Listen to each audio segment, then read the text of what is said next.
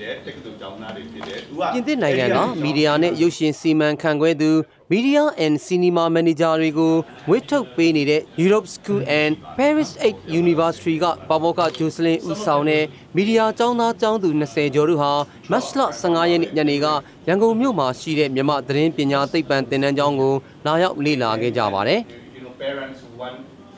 actually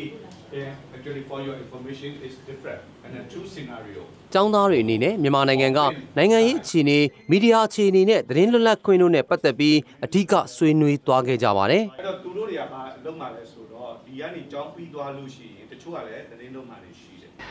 သူတို့မြန်မာပြည်ကိုစိတ်ဝင်စားကြတယ်မြန်မာပြည်ကိုလာလည်ဖို့စူးစမ်းတာ9နှစ်လောက်ကိုရှိပြီအရင်တော့ကတော့အကြောင်းမျိုးမျိုးကြောင့်မဖြစ်ဘူးပေါ့နော်အခုတော့ဒီအခုတော့သူတို့အကောင့်ထဲပေါ်လာတာဖြစ်တယ်အဲအဲ့ဒီအတွက်လည်းသူတို့ကအတော်အတော်လေးကိုဝမ်းသာတယ်အခုကျွန်တော်တို့ဒီ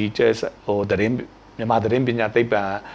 ကိုလေပတ်တဲ့တခြားသောအဖွဲ့အစည်းတွေလည်းသူတို့သွားလေပတ်တာပေါ့ရန်ကုန်မှာတပတ်ကြာမယ်ကျန်တာကတော့ ပကံမန္တလေးအဲပုပ္ပါတောင်အာနောက်ပြီးတော့အင်းလေးစားသဖြင့်ပေါ့နော်သူတို့သွားအဲ့ဒီနေရာတွေလဲသူတို့အခွဲအစုလိုက်အစုလိုက်ခွဲပြီးတော့သွားလေ့လာကြမယ်လို့သိရပါတယ်ဗျ